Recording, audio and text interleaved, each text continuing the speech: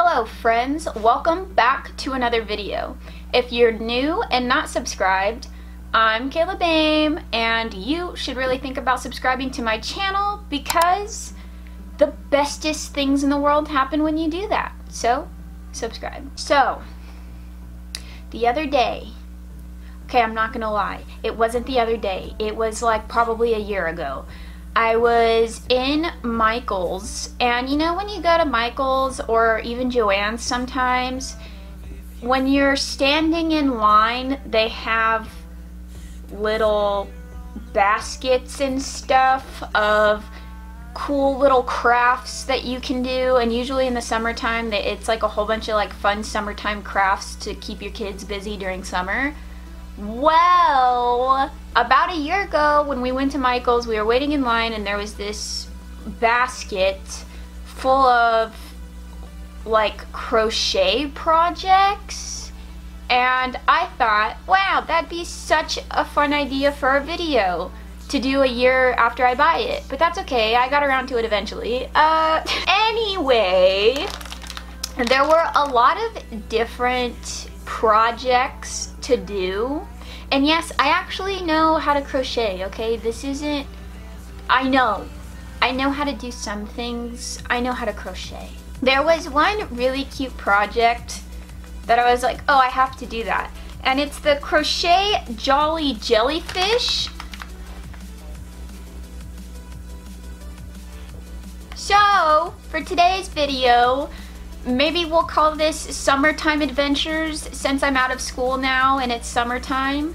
Summertime Adventure Part 1 The Jolly Jellyfish. Let's do it. Okay, party people, for this video I'm going to be doing the crochet Jolly Jellyfish that I got from Michaels. And in this starter pack, it came with some cotton for some reason. I never found out what I was supposed to use that for some light blue yarn, dark blue yarn, white yarn, and some black yarn. And it also came with a sewing needle to sew on the eyes and stuff, and a four point whatever crochet hook. And the last thing in this pack was an instruction manual, and let me tell you, I hated this thing. The instruction manual started off with basic like crochet knots and stuff like that. And I already know how to crochet because I'm an expert at almost everything but yes I do know how to crochet. I know the basic knots for crocheting. Is that what they're called? Knots? I know the basic knots and stuff like that. Like, I can make beanies and stuff, so I thought I would be able to do this Jolly Jellyfish pretty easily since it seemed basic.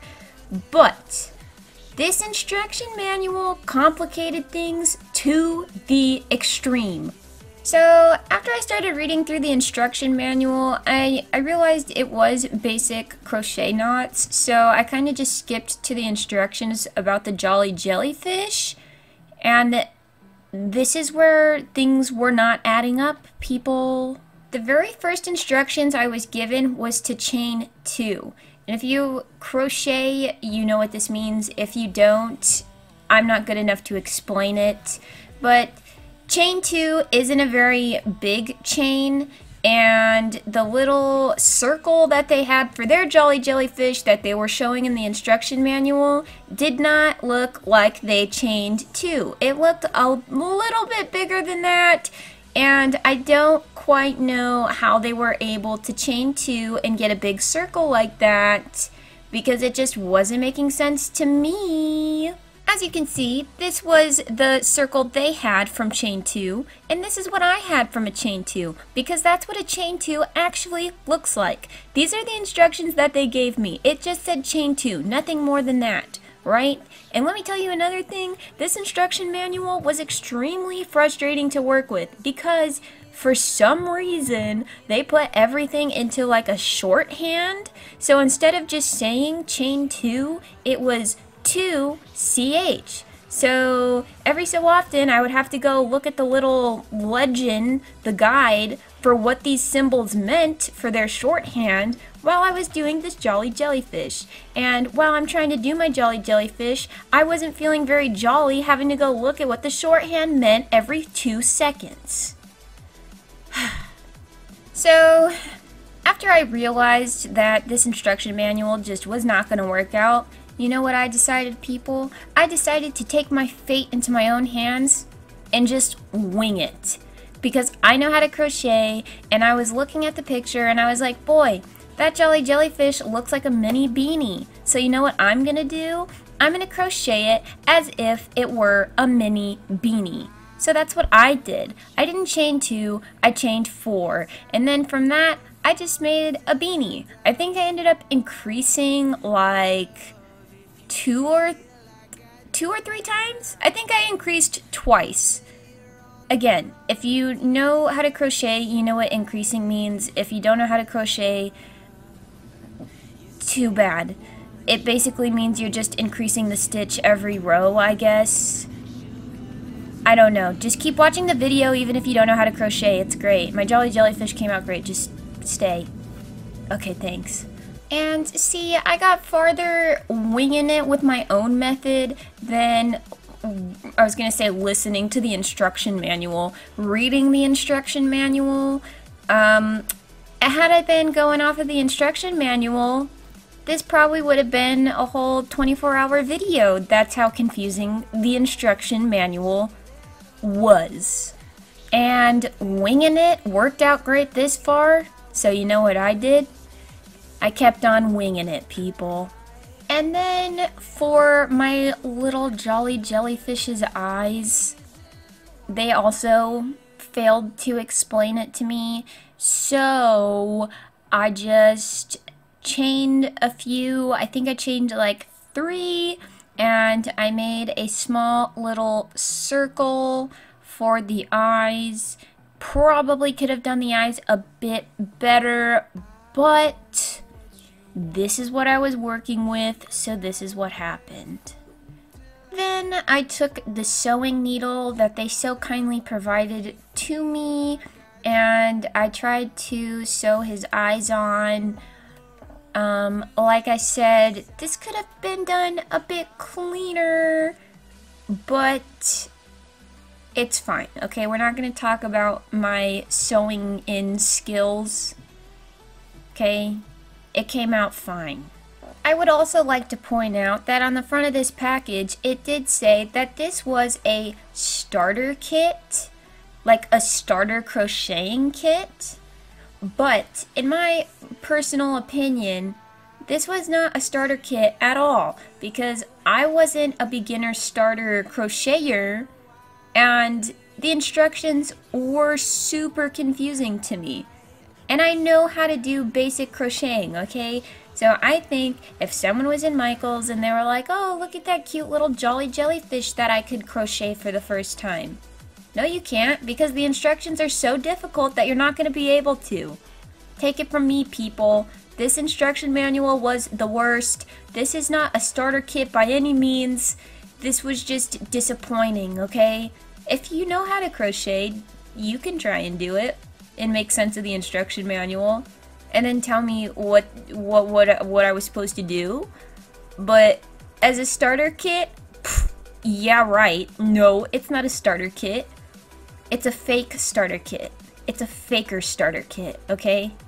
Anyway, after my seventh rant about this Jolly Jellyfish, I don't know why I'm so angry about this Jolly Jellyfish. Maybe because it's a jolly jellyfish and I wanted to feel jolly while making it, and I just didn't. There was nothing jolly about this experience, okay? Nothing at all. But for his little tentacles, is that what they're called on a jellyfish? A jellyfish tentacle?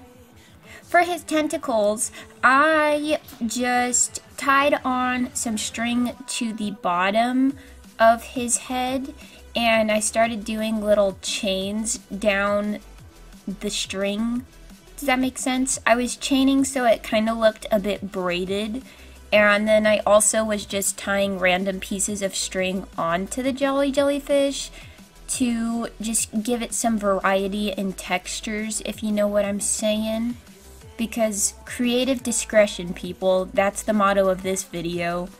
Threw the instruction manual out the window, used my own creative discretion here. Here's another thing about this little starter kit, okay? We're going on to the eighth rant about the Jolly Jellyfish. They gave me cotton for some reason and never explained what I needed the cotton for. And even if you look at the picture, it wasn't sewn up together. Like he was hollowed out. So I don't know if it was just to like plump him up a bit or what. But nowhere in the instruction manual did they ever specify what I needed the cotton for, when I needed to add the cotton in. So I have no idea what that cotton is for. I didn't use it and I have no idea what it was used for. I'm guessing to make him appear stuffed, but there was never a step in that manual that said to stuff him and then sew him back up. So, I have no idea. And for the last step of this jolly jellyfish in my own handbook was to sew on his mouth, which, by the way, they also didn't explain how to do this in the manual either. So, his smile came out a little bit crooked, but overall, I don't think I did too bad on this jolly jellyfish considering nothing was explained to me. Okay? And wowie kazowie, would you look at my finished jolly jellyfish? Doesn't he look so jolly? Look at those tentacles, I did so good. Wow, look at him. Um, no, but seriously, he looks a little lopsided and I can't be blamed for that, okay? So, those crochet starter kits, maybe not so starter after all. Alright, that is it for today's video. If you liked it, be sure to give it a thumbs up and leave in the comments down below what you thought of my Jolly Jellyfish. I always see these things in Michaels and I always want to do them, but sometimes I just don't end up buying them. But if I buy them, I might as well film it, am I right? But I'll see you guys back here next time. Peace.